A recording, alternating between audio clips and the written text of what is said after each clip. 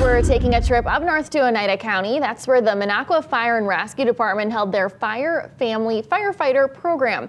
Firefighter kids learned about kitchen and house fires and getting out of the house in the event that it's on fire. Their homework, make an escape plan with their family that includes an outside meeting spot. The department says the kids did a great job escaping the house.